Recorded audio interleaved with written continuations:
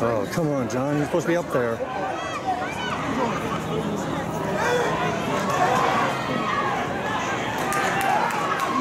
That's all. There you go, girl.